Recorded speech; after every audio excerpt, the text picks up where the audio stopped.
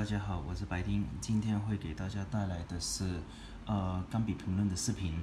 呃，作为第一个视频的话，呃，我第一次讲的会是像你们看到这一根笔，呃，无印良品的呃长钢，因为无印良品有出过两根钢笔，第一根的话是现呃第一根的话是短钢笔，就是俗称的口袋钢笔，第二根呢是现在看到这根长钢笔。呃，那首先给大家看一下这个尺寸。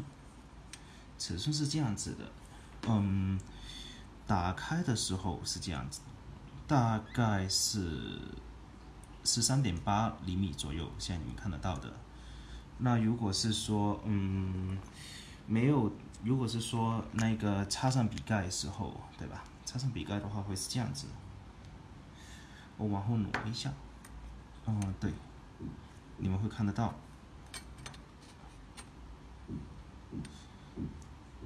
接近是那个呃十六点一左右，十十六点一点二左右厘米，呃，但是通常是这样子。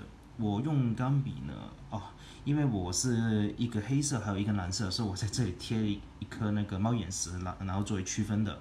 呃，一根我是用吸，一根呢是这样子，我是用那个吸墨器的，会给大家打开，打开会给会给大家打开看一下。另外一根呢是就是平常这种墨囊。那首先讲一下这根笔，这根笔首先是整个是铝合金的，你们能看得到，对吧？呃，然后上面这里非常的薄，嗯，我打开，我打开一下这个灯给大家看，可能会看清楚点，对，这里，对吧？非常细，呃，然后笔盖呢是这样子，上面的。握手是在这样，就是说一些嗯很细的凹凸纹理，摩擦力其实我感觉不是不算特别长，但是它整根笔的那个重量重量比还是比较好的，这前后的重量平衡。那这个拔的时候，因为我这个用久了，所以不太好拔。因为首先你看到上面的很细，这里也是。那给大家看一下这个笔盖，笔盖里面这样子，你看到。呃，一个塑料的，就一个软胶的那样子一个材质。这里的话还是铝合金嘛，但是你看到这个非常薄。那如果跟这个比，我就这样子盖上去的时候，其实呃不是不是很顺。哦，因为时间久了，其实一开始用的时候是非常顺的。有时间用久就有这个问题。这根笔我用了差不多有三个月了。那用的笔尖的话是那个 Smith，呃，一个德国品牌，对，给大家写一下。啊，我把尺子是拿走。那拿笔的话是这样子，我通常习惯是因为我还有别的钢笔，那我通常习惯是这个笔笔盖用就放在这，对吧？然后这一个笔是这样子，食指是比拇指要浅一点点的，然后这样子架在这样子放上去，架在虎口的位置，然后下面中指稍微顶一下，然后这样子写，笔尖往上。那现在你们看到。这是一个比较正确的那个钢笔的握握呃握握钢笔的姿势，那呃笔尖是这个，哦哈哦啊字比较丑哈，H M I D T 对 Smith，呃普通话应该是叫那个斯密德，斯密德或者斯密特是一个德国笔尖呢，然后。呃，笔尖上面其实还是你说粗也不算特别粗，细也不算特别细。呃，无印的只有 F 尖的，没有别的。钢笔通常是这样子，如果是最细的 E F，然后 F，再下来 M，最后还有就是 B。那如果像是 Waterman 一些比较其他品牌，它会用 L。那还有一些就是，呃，那如果是说这边是欧标的。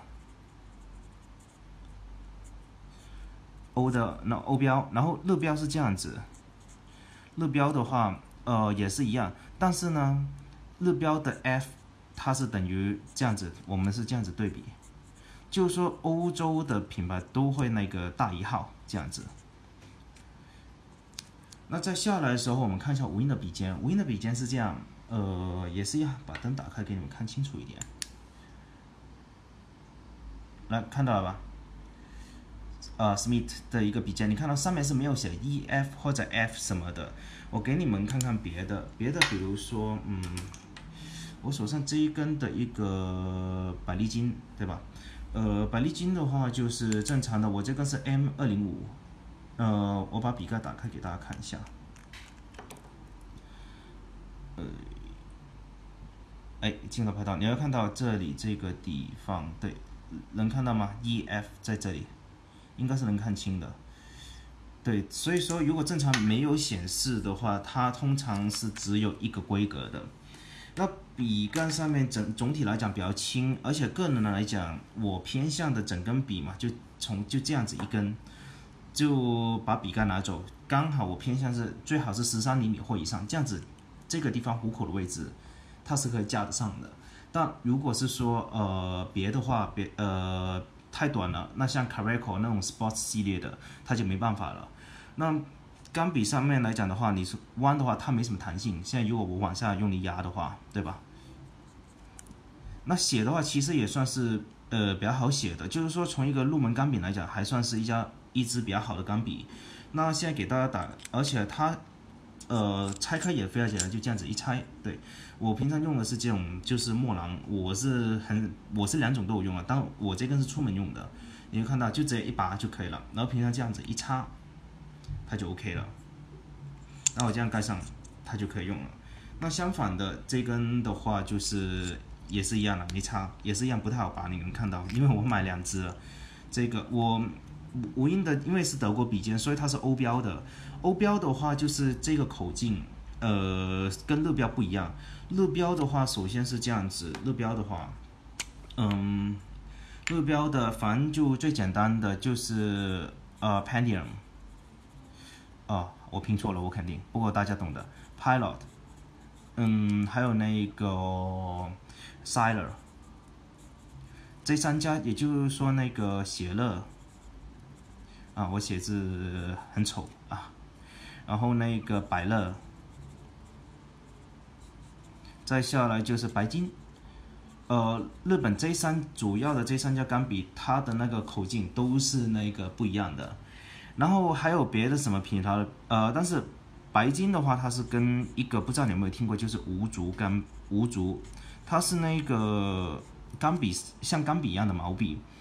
呃，欧标的话就很多了，比如说百利金呢，或者万宝龙，呃，威迪文 Waterman，呃，还有那个 Parker 派克等等的，基本上都是共通的。那主要差别就在这里。那欧标的话，那所以说无印是算是比较少的一根可以用这个欧标墨蓝的。我这个是那个 Caraco 的那个吸墨器，呃，看起来还是比较精致一点的。呃，比起 Snyder 什么的，那基本上的一个大致的简单的一个解说的话，就无关于无印钢笔的就是这样子了。呃，谢谢大家。